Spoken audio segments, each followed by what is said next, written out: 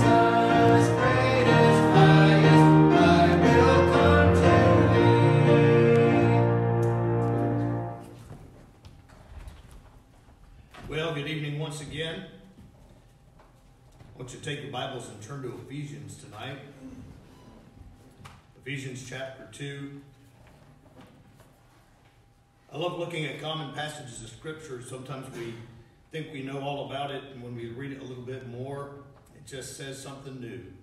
God's word's new every day. Amen.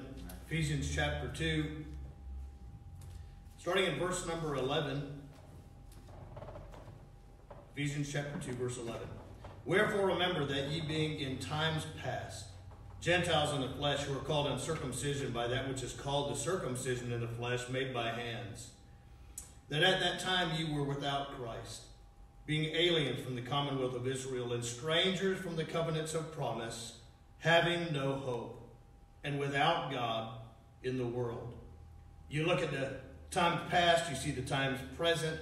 If you back up a little bit, you'll see in verse number seven, it actually talks about the future and the ages to come. He might show the exceeding riches of his grace and his kindness toward us through Christ Jesus. So we see the past, present, and future, and it talks about what we used to be thinking about this time and the days that we're facing, and as Pastor Caleb just said, for however long this is going to last, the times to come, that this is how church is going to be. So I'm thinking about the past, I'm thinking about the present, and people that have no hope. And I just thought of homeless. It says you're aliens in times past. It said we were hopeless without hope. It says that we were hollow without God. There's nothing. Hmm. But then I look at what we have now. Verse number 13, it says this But now, in Christ Jesus, who sometimes were afar off, are made nigh by the blood of Christ, for he is our peace. Amen. Reminded me of the verse in James chapter 4, verse number 8, and it says, Draw nigh unto God, and he will draw nigh to you. And no longer are we hopeless, but we have peace. We have Christ. He is our peace, who hath made both one and hath broken down the middle wall of partition between us, having abolished in his flesh the enmity, even the law of commandments contained in our ordinances, for to make in himself of twain one new man, so making peace, and that he might reconcile both unto God in one body by the cross, having slain the enmity thereby, and came and preached peace to you which were afar off, and to them that were nigh. So whether you're far away or whether you're right here, I'm just glad that we have peace. We are no longer without hope. So, in this hopeless time, and so many are saying, What are we going to do? Aren't you glad that we have the peace that we have in Christ? Amen. I'm glad He's my peace. Amen. And I wish you all peace in Christ as well. And thank you for joining us this evening. Let's open in prayer. Join me as we pray for Pastor Caleb and the service this evening. Heavenly Father, thank you for your goodness and grace. Thank you once again for the opportunity, Lord, to gather via the internet and, and FM radio and, Lord, those few that are here. Lord, we just pray that once again we ask that, uh, Lord, we pray that all that we do would be good, would bring you glory, and we would be for your honor. We do lift up uh, Pastor and Pastor Caleb. We just pray that you would bless them. Lord, keep them well. we pray for their families. Lord, I pray that you'd give wisdom and discretion, Lord, as they lead, Lord, the congregation in this uh, extreme time. Lord, we pray that you just bless them. Lord, bring forth the word with power and authority tonight. I pray that you touch our hearts. Lord, draw us close to you. We are so grateful that, Lord, no longer are we uh, aliens and afar off with no hope, but, Lord, that we have you, we have peace. Lord, we have hope in you. We pray that you'll give us all, uh, Lord, just something special tonight. We ask these things in Jesus' name. Amen.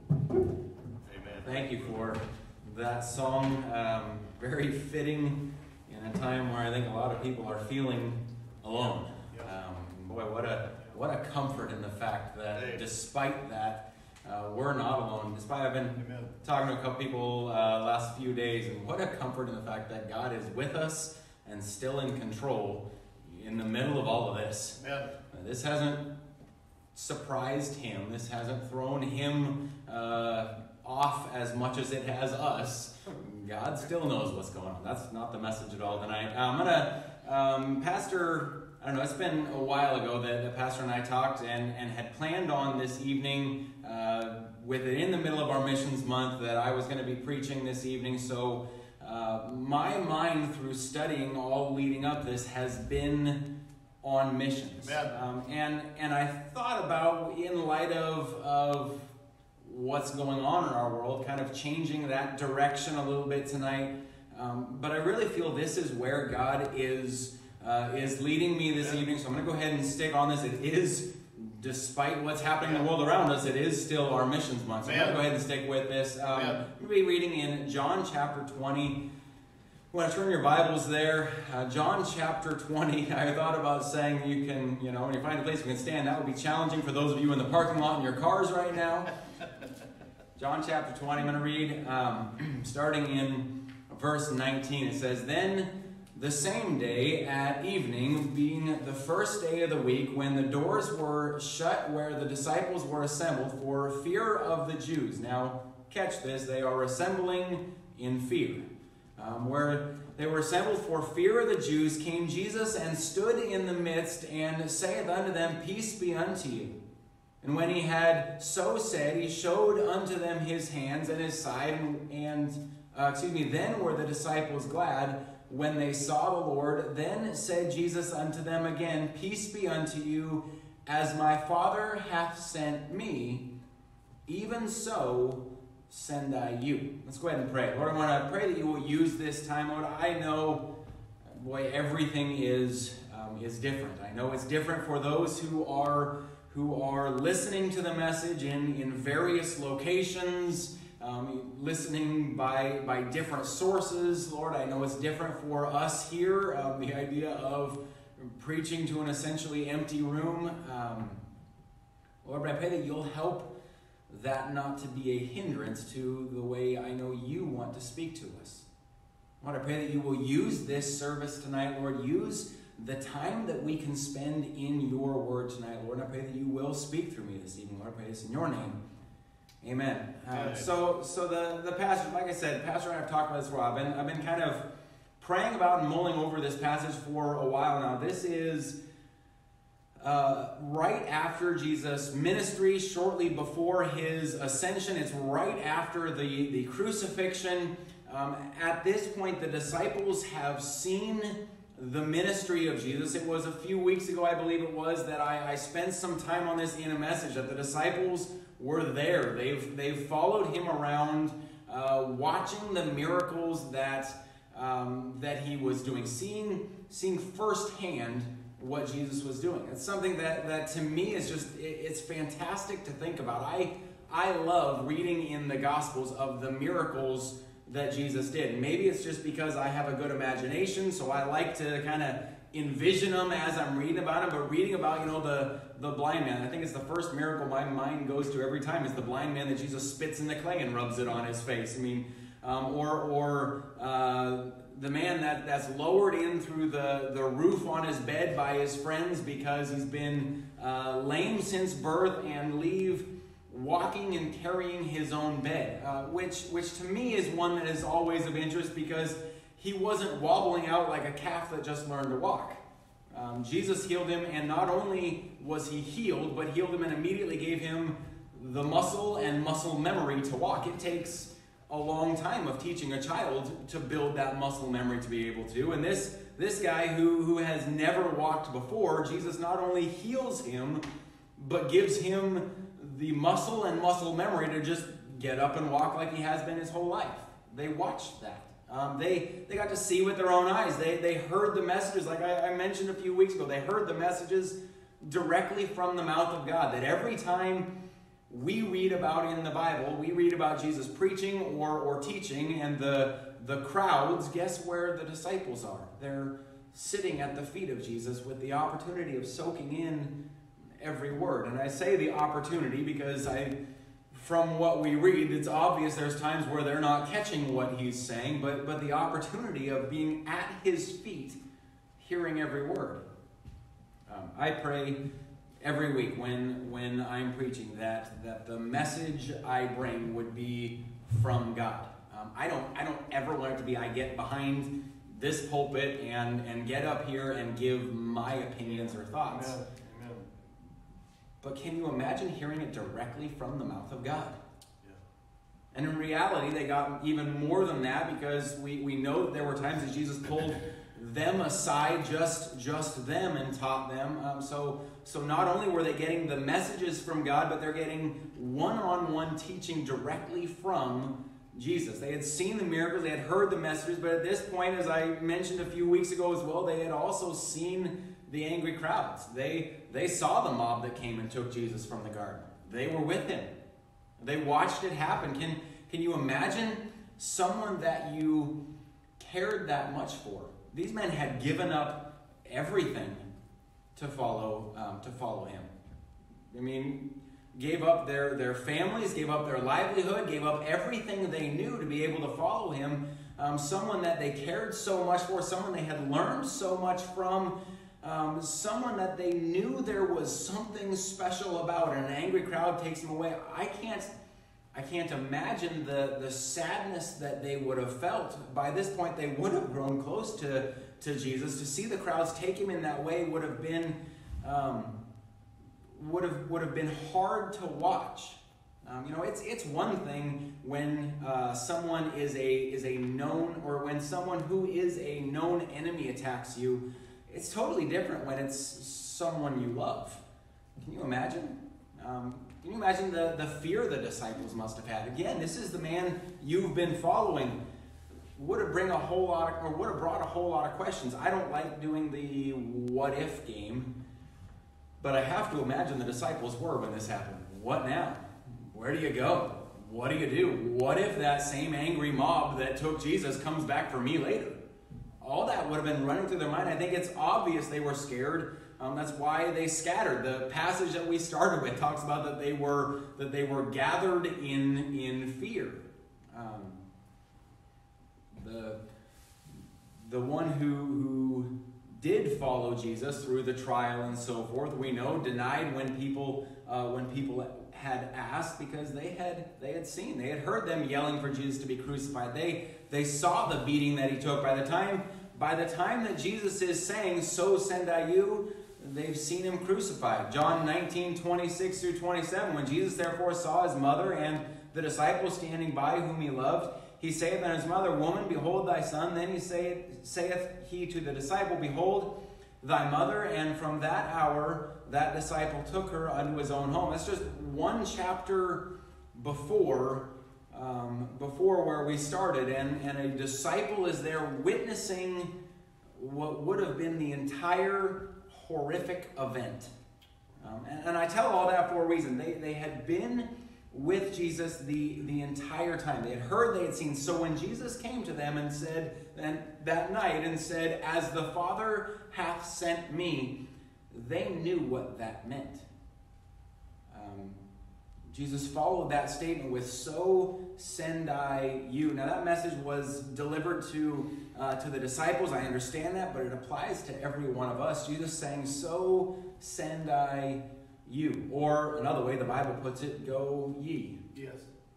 Um, here's the idea tonight that I want to want to try to to build on a little bit. Missions is about you. Missions isn't about, missions is not about someone else. What will someone else do? It's about you. It's it's personal with you and God. Jesus didn't come to the disciples and say, "So send I someone else." So send I you. Missions isn't about someone else giving. It's not about someone else getting a burden and, and giving to the cause of missions. It's about you getting involved. It's about you giving to missions. It's, it's about you helping to send missionaries around the world. Missions isn't about someone else going. We've had, um, before all this started, multiple missionaries uh, here and preaching this month, and, and it's always a, a blessing to hear from, from men who are going around the country and around the world. But missions isn't about them going. Um, missions isn't isn't someone else going while I just send them. A lot of people, um, a, a lot of people think that's what a missions conference is. Me sending someone else, me giving so that so that someone else can do the going. Missions isn't about them going, or or even your your pastors going while you support them. Missions is about is about you going. Um, that doesn't always mean uh, going to Africa. For some, I, I always think it's um, when, when my dad was at the college, how many there were that talked about I was always afraid to surrender to missions because I was afraid God was going to send me to a place like Africa. Going doesn't always mean Africa. Going could mean going on visitation on Saturdays, and I know that's harder right now than normal than with all this coronavirus stuff going on, but it doesn't it doesn't change it. You going could just be witnessing to your neighbors or, or your coworkers. Again, I know with social distancing that's a little challenging right now, but there are still ways that you can be a testimony and a witness now. Amen. Um, and I'll just throw this out there. They, they need it now more than, as much or more than they have before. Um, sin hasn't changed. Just because people are social distancing doesn't mean that people are suddenly better people. Um, and with the fear that people are living in right now, they need to hear of a loving Savior now more than maybe ever before. Um, they need to hear, like the song we just heard a minute ago, that they're not alone. Not from someone else, from you. Missions is, is about you. What are you going to do for missions? What are you going to do for God this year? That's the, the premise tonight that I want us to try and work with. When Jesus says, So send I you, what that means. I think the best example of what that means we can see with Jesus' ministry uh, himself. Again, the passage, the, the disciples would have known what as my Father hath sent me meant. And that's what we're going to look at. What the Father sending him meant in his ministry, and so send I you. I have three things tonight that, that um, I just put it this way three things that so send I you means. The first is so send I you to go to a people that may reject you. Um, Jesus, in his, in his time of ministry, was rejected by many. We, we read of and we know of the crowds. Um, we, we see that all along the way of his ministry. Times that, that so many people pressed against him that, um, that to be able to preach, he, he had to borrow a boat and push out into the water to, uh, to preach. Times we, we know of that thousands, that thousands followed him to the point of being, uh, being faint, but not wanting to leave for fear of what they might miss. But think about this for a moment. If thousands came to hear, think of the hundreds of thousands, or perhaps even millions, that didn't, that, that refused to believe. Um, there are thousands following Jesus all around the countryside.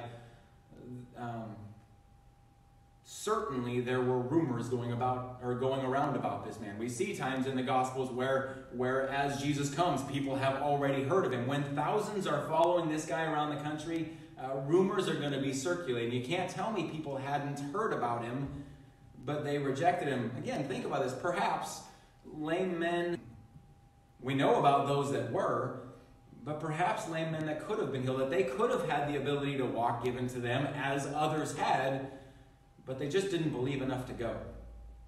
Um, I, I, don't know if you've ever thought of that. We, we see those that were believed and were healed. I can't help but wonder how many more could have but didn't believe. Or, or maybe blind men that, that could have been healed. They, they could have received their sight again, like so many others had, but rejected what they had heard about this man. He went to a people that rejected him. Um, he was asked to leave. Luke 8 35 through 37, it says, Then uh, they went out to see what was done and came to Jesus and found the man out of whom the devils were departed, sitting at the feet of Jesus, clothed, clothed and in his right mind, and they were afraid. So, or excuse me, they also, which saw it, told them by what means he had possessed of the devils was was healed. Then the whole multitude of the country and of the Gadarenes round about besought him to depart from them for they were taken with great fear, and he went up into the ship and returned back again. This is this passage I just read it is right after the, the legion of demons is, is cast out of the man. The people of the area come out to see what, what has just happened, and, and you would think that they should be ecstatic. I mean, they have, for who knows how long, had this this crazy man running around. No one could bind him. They had tried. No one could bind him. No one could, could control him. No one knew what he might do next. He was completely unpredictable, living in the tombs, running around cutting himself. But Jesus healed him. He's now a, a normal person. When they come out, he's a, he's a normal man, uh, sitting clothed in his right mind. You would think people would want Jesus around after that. The natural thing would be to make a big deal about this man, Jesus, and want to see what he may do next. This man that we tried and we couldn't tame, and you just did with just your words. You'd think they'd want to learn more about that Jesus, but what do they do? They're afraid and ask him to leave. They rejected it. Um, his own people rejected him. Mark chapter 6, verse 1 through 6. He went out from thence and came into his own country, and his disciples followed him. And when the Sabbath day was come, he began to teach the synagogues, and, and many hearing him were astonished, saying, From whence hath this man these things? And what wisdom is this which is given unto him, that even such mighty works are wrought by his hands? Is not this the carpenter, the son of Mary, the brother of James and Joseph, and Judah and Simon? And are not his sisters here with us? And they were offended at him. But Jesus said unto them, A prophet is not without honor, but in his own country and among his own kin and in his own house, and he could there do no mighty work, save that he laid his hands upon a few sick folk and healed them, and he marveled because of their unbelief. And he went round about the villages teaching. Here Jesus says he comes to his own country, a people that should have known him, a people that, who, who surely heard what was happening. When he comes to them, they marvel at his wisdom, they marvel at his. Um, at, at the words from God that he has, and yet they don't talk about the miracles that he's done. They don't talk about his ministry. They don't ask him how, how things have been going on while he's away and all that he's done. They immediately go back to he's that boy, the carpenter's kid. And because of it, Jesus leaves his own home, astonished at their, their unbelief, rejected by his own. So send I you. To go to a people that, that may reject you. Um, I thinking about this study, I wish I could stand up here and say that, that you know every person I've given the gospel to has accepted. I wish uh, that it were the case that every person that you showed in the Bible how they can come to know Christ as their personal Savior saw immediately their need and begged me to lead them in a sinner's prayer. But the reality of the matter is the majority rejected. Um, I wish I could say that, that as I show Christians from the Bible how they ought to live, that they immediately opened their eyes and started living, living uh, how they should, but most rejected and go on living how they did before. But that doesn't change. So send I you. That's right. That's right. So send I you to a, a people that, that may reject you. So send I you, number two, um, to a people cast aside. Uh, think for a few minutes. We're going to look at a, a few passages here, but think for a few minutes who Jesus' ministry was to. Um, Jesus went to the publicans and sinners. Matthew 9, 11, and 12. And when the Pharisees saw it, they said unto his disciples, Why eateth your master with publicans and sinners? But when Jesus heard that, he said unto them, They that be whole need not a physician, but they that are sick. And we, um, we know that the Pharisees had had a cow about the um, who Jesus sat to eat with. Why would this man who who claims to be the Son of God sit down and eat with people who are sinners? I mean, they were the cast aside by society, and yet that's who he went to. Jesus went to the halt and the maimed. I, I think of, of the lepers. Leprosy was a, a terrible disease, and and uh, anyone that that um, or excuse me and and a disease that they had no cure for when a person was found with leprosy it was it was only a matter of time before it killed them. It was a, a disease as most know that that ate away at the skin and it was um, usually most common in appendage in appendages. So it was not uncommon for a person who had leprosy to have uh, toes or or fingers or even um, their nose just fall off, leaving them dismembered and and um, and an outcast. But what made leprosy worse was it was incredibly contagious. Mm-hmm. The moment someone was found to have leprosy, they were immediately cast out of the city, not allowed to contact with anyone else. We want to talk about social distancing. Um, these guys had to be completely separated from, from anything they knew. Because anyone that they came in contact with was in danger of contracting it. They, they wouldn't have wanted, um, as much as they would have desired to see their families, you wouldn't want to because then they would have it as well. Um, because it was so dangerous, anyone who, who even came close to them, they were to cover their face and yell out, unclean, unclean, so, so no one would get close enough to be infected. They were, they were outcasts. Right. But think of how many times in the Gospels Jesus went to the lepers. How often he healed them of their, their leprosy, that, that they were crying out, and everyone else in the crowd wanted to just pass by and try and ignore that group of social outcasts over there.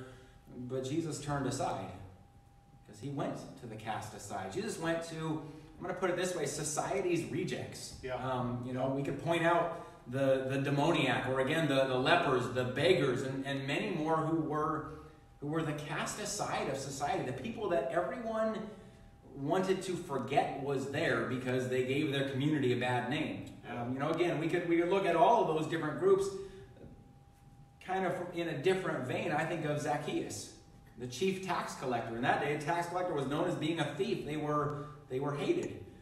And yet Jesus went to his house. Jesus went to those who were who were cast aside, not because we shouldn't reach the high society, but to show that this was for for everyone. So when Jesus told his disciples, As the Father has sent me, so send I you, when we are told, Go ye, it's to a people cast aside. I was thinking while studying for this, it, it would be great to see people of, I guess, for lack of better terms, society. It would be great to see people of society come to a saving knowledge of God. I, I believe it would, it would change our country if we could reach our nation's uh, politicians and, and leaders with, with the gospel. If, if leaders or, or popular figures of our country came to know God, and I don't mean just in word like so many do, Yeah. but truly Amen. living Amen. in a Christ like way, it could change our world. Um, and I'm all for trying to reach those groups, but as a Christian, I'm not called to just go to the high society. I'm not called to reach the rich or the influential. I'm called to reach everyone. That includes the cast aside. Amen. So send I you to a people who may reject you, to a people cast aside. And then, thirdly, tonight, so send I you um, to go to seek and to save the lost. Luke 19 and verse 10 For the Son of Man has come to seek and to save that which was lost. Uh, while, while Jesus was here in his ministry, the number of people that he healed or helped is innumerable. Um, the Bible tells us of, of many of them, but the Bible also tells us that if, if they tried to write it down, the world could not contain the books. But Jesus' purpose here was not to heal people. He did heal tons, um, it, it made a difference in lives, but that wasn't why he came. Jesus' purpose wasn't to feed people. Those are, are great things. Um, and I'm sure the, the 5,000 that were on the, on the edge of fainting, according to the disciples, I'm sure they were glad they were fed. But that wasn't Jesus' reason for being here. His purpose was to seek and to save the lost. His purpose was not temporary changes. His purpose wasn't even lifelong changes. It's what healing and feeding are. Feeding of the people is, is a temporary change. Um, healing lepers and, and blind, men, that's a lifelong change. His purpose wasn't temporary or even lifelong changes. His purpose was eternal change. It wasn't just to change their physical condition, it was to change their eternal location. So send I you. Um, our job as, as a Christian, my job is not to feed the hungry. There are groups that try to make that their goal to feed huge numbers of hungry people, and, and I'm not saying that's a bad thing. Hungry people need food, but food is only temporary. It's not our job to put a, a roof over the head of homeless. Again, it's, it's a nice thing, but that isn't what we're here to do. It's not our job to give to the less fortunate. Those are, are great things, those are, are all good to do, but they aren't what we are sent to do. We were sent to reach the lost. We were sent to go to a people who, who may reject you, to go to a people who are, are cast aside, to go to seek and to save the lost. Which brings us, I guess you could say, full circle in the message back to missions is about you. Yes. Missions is about you. Jesus saying, So send I you. Go ye. It was meant for you. Um, I'm, I'm not by any means trying to sugarcoat it. In fact, I'm kind of almost doing the opposite and pointing out those that rejected Christ. It isn't always an easy job. As I said at the start, this was said right after his crucifixion. This same passage that we started in is where Jesus is showing them the wounds in his hands from where he's hung on the cross. They realized this came with danger. Um, people will reject it. Some some won't listen. Some will get upset. But those four words are for you and I tonight. Jesus saying, "So send I you." Not so send I your neighbor. Not so send I uh, someone else. So send I you. I mentioned this already. Missions isn't about someone else giving or someone else going or someone else praying. Missions is about what will you do. When Jesus says, So send I you, will you go? As I've been studying for this, and then this last week, how things have changed, and kind of every day it feels like there has to be another little adjustment to what we're going to do. Um, this is the thought that kept coming to my mind. I've been praying this uh, kind of throughout this. This is this year is a will be a missions month unlike any other. Yeah. Um, I've I've personally grown tired of hearing the term unprecedented because it seems like every every news anything you hear they use that term, but unfortunately it's the best one I can come up with as well. I think that's why they're all using it because it's all they can come up with. Um, that's what it is. This is a missions month unlike any other. And my prayer is that we will have a result unlike any other. Amen. Um, not necessarily, I don't mean that in uh, the financial side. Um, that side is, is necessary. Um, I'm not meaning that, you know, we have a missions month unlike any other in the biggest giving we ever had. I'm meaning it in that we have a missions month unlike any other, in that we come away from this month truly seeking what I can do. How, how God can use you. Seeing that, that so send I you is for you.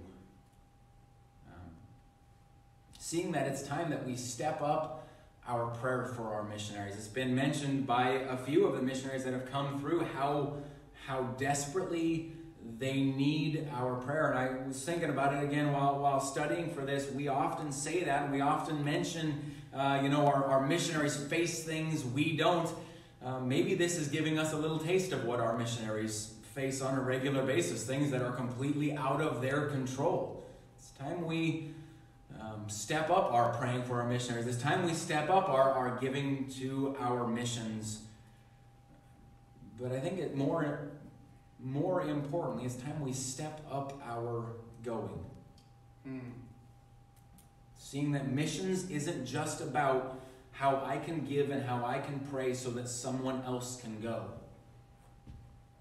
But the missions is about me doing something for God. Let's let this super odd missions month be one that causes us to connect with God in a way we never have before. Let's pray.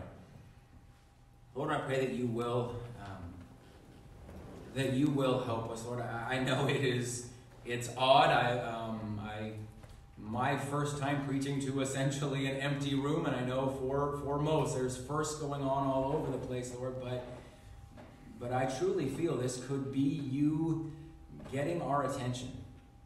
Lord, help us to come away from this missions month again. As I said, a missions month unlike any other. Help us to have a response unlike any other. Lord, help us to come away from this missions month truly connected to you, truly connected to our part in missions. The missions isn't about what someone else is going to do, missions is about what I'm going to do. Lord, help us to make this, this personal. Help us to take this passage, so send I you. Help us to take our great commission that we that we when we're together read together Sunday nights. Help us to take that go ye and and make it personal. Not go ye someone else, go me. Yes. It's in your name. All right, we are going to go ahead and do an invitation similar to as we did this morning. Sister Hohenstreet's just going to play the piano for a moment. And I want to give you an opportunity really to focus on um, how you personally engage in the Great Commission. We like to read on Sunday nights, we like to read Matthew chapter 28, verse 18, 19, and 20, where Jesus came and spake unto them, saying, All power is given unto me in heaven and in earth. Go ye therefore and teach all nations, baptizing them in the name of the Father, and of the Son, and of the Holy Ghost, teaching them to observe all things whatsoever I have commanded you. And lo, I am with you always, even unto the end of the world. Amen. And we read that as a church, and we think of it as our church's commission. And I think uh, we might assume that because we're part of the church, that means we're a part of missions. But how how do you personally focus on missions? I appreciated uh, that point of the message, and I want to give you just a moment, just a moment of quiet time as the piano plays. Maybe reflect on on how what you might be able to do that's more specific in getting the gospel to someone else something that you might personally be able to do to reach a, a, a friend, a neighbor, um, a family member, a loved one, to uh, give them the opportunity to, to respond to the gospel message.